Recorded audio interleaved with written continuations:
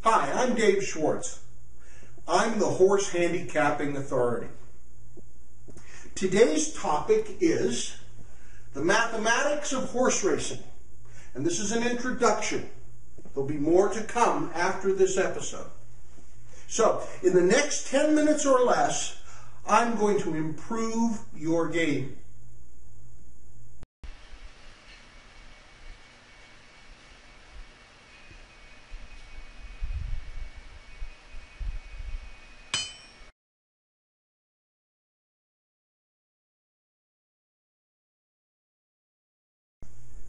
Let's begin our discussion today with dollar net.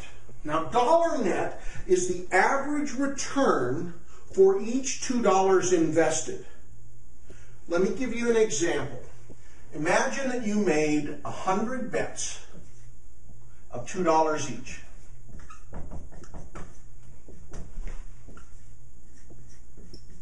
Therefore, you're in $200.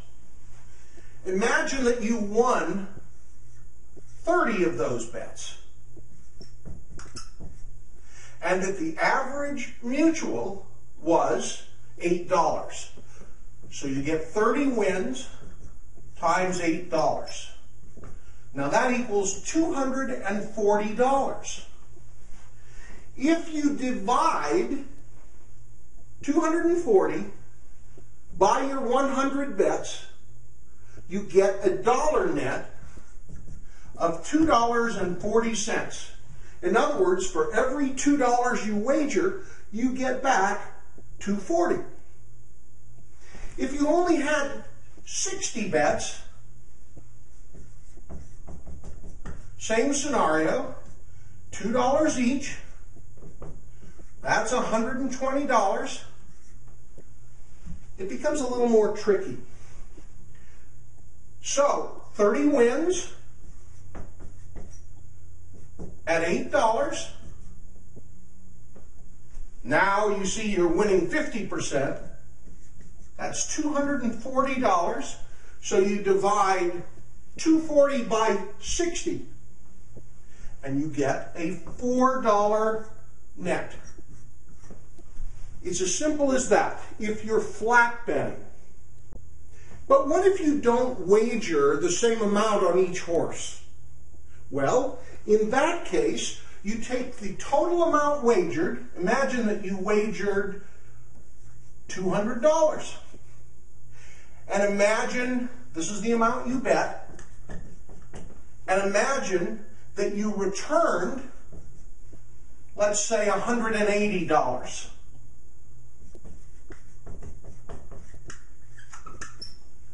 So this might be spread over 10 bets, 100 bets, 50 bets, and they might be all different amounts. If you divide 180 by 200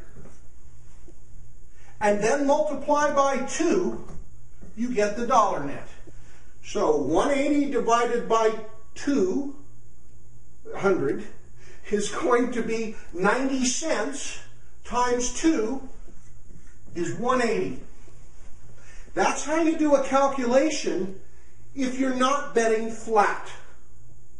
That is the same amount in each race.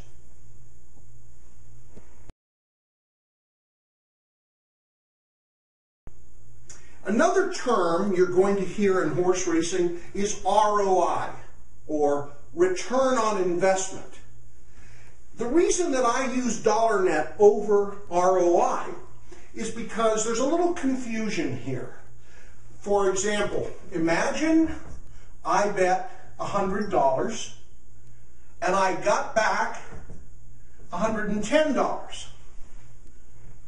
So, the ROI is this number divided by this number minus this number. In other words, I see this as a plus 10% ROI. But some people don't do the math that way. They see it instead as this number divided by this number. They see it as 110. So, you see, so if I said I had a 20% ROI, to me, that's a very good, good thing, or a 0.2 ROI. But some people would see that as an 80% loser, where 1.0 is break even. So there are two different ways to look at it, and that's why I will always use dollar net in my calculations.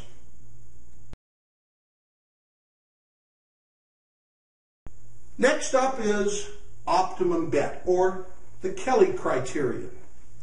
And the way this works, optimum bet is that percentage of your bankroll that will lead to the greatest growth.